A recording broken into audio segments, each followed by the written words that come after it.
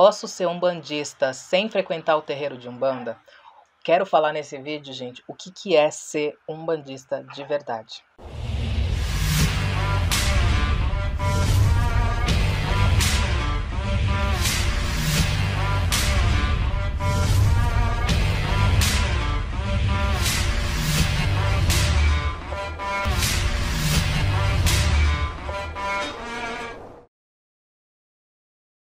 Oi, meu nome é Pérola de Manjá, eu sou sacerdotisa umbandista e eu ajudo pessoas a se conhecerem espiritualmente através da filosofia de vida da Umbanda.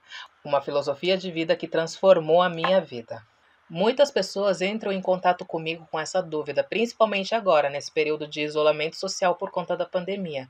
E a gente pode confrontar as pessoas com o que é ser verdadeiramente um bandista. O que, qual que é o ato, qual que é o ritual que faz com que você possa ser considerado um umbandista.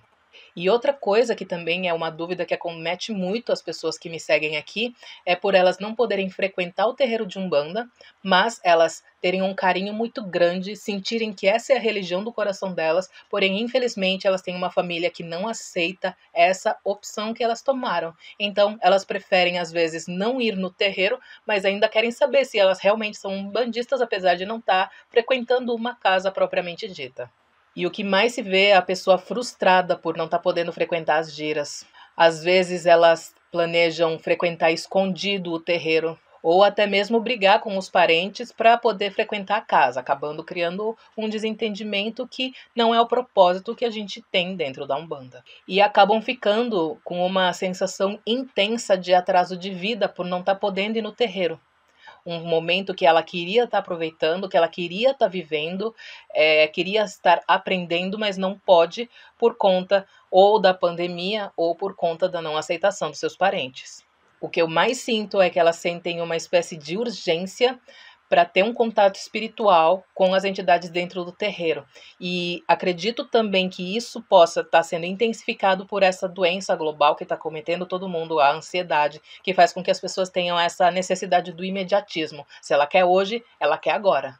E o que, o que eu quero dizer para você é que o terreiro ele é um local de amparo espiritual tanto para o assistido quanto para o médium que entrou para a corrente. Portanto, se você não tem uma doença física ou espiritual, você pode sim é, se aproximar da espiritualidade através de, de estudos, através de orações na sua casa mesmo, sem precisar de um terreiro propriamente dito.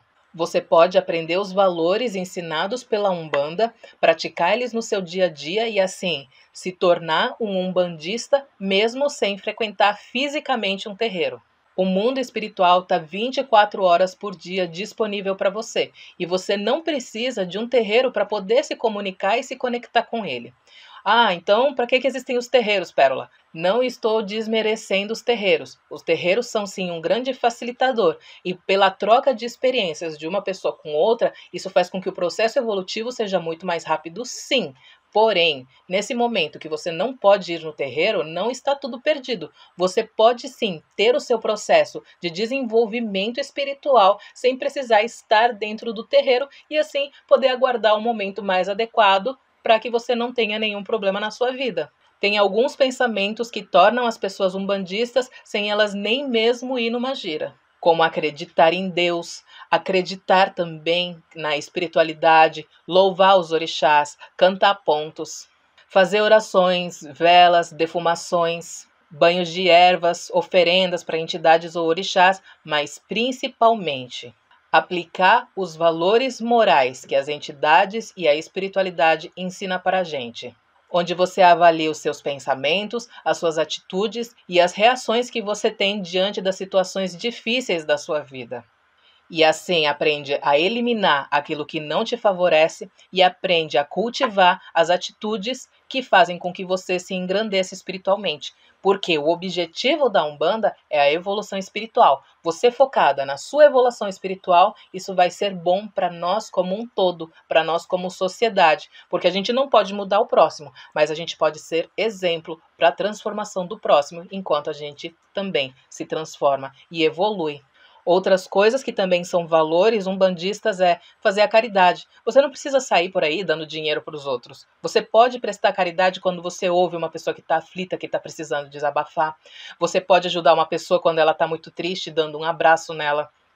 Existem muitas formas de prestar caridade. Não precisa ser especificamente monetariamente falando. Às vezes as pessoas elas não estão carentes de dinheiro, elas estão carentes de outras coisas, de muitas outras coisas que a gente às vezes nem imagina. Então, existe sim uma forma de você poder ajudar o próximo e isso fazer sim um impacto na vida dela e, consequentemente, acabar ajudando na sua vida também. E isso vai te tornar um bandista. O lema é basicamente, como eu sempre ouvi desde quando entrei na Umbanda, é fazer o bem sem olhar a quem. Tem até um ponto que fala disso, de Preta Velha.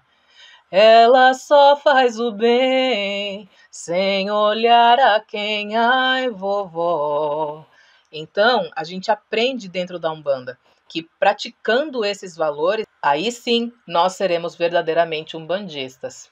Com essas pequenas práticas, essas pequenas mudanças, você vai estar tá mudando a sua onda vibratória, vai estar tá elevando ela, tornando ela mais positiva e mais boa.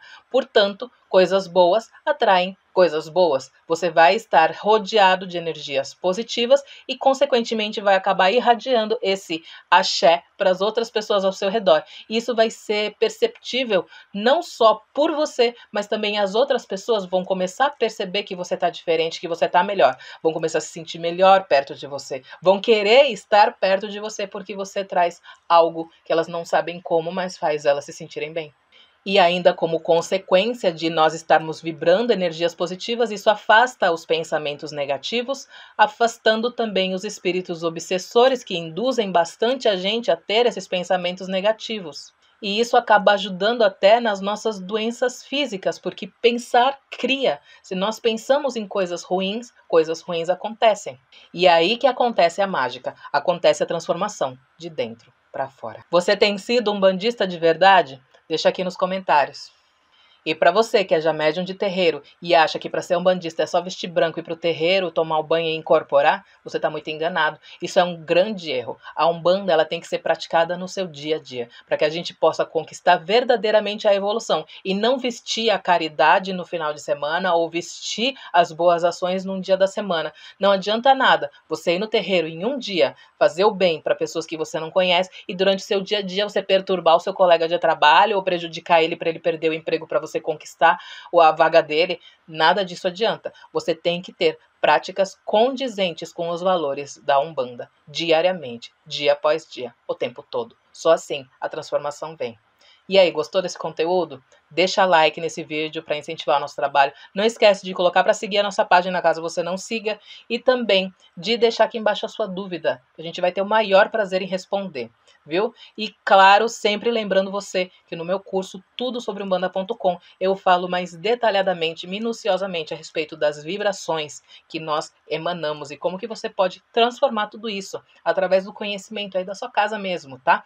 Então acesse o link fica aqui embaixo na descrição. Se você conhece alguém que precisa dessa informação, manda esse vídeo para ela, viu? Muito beijo para você, muito axé, até o próximo vídeo.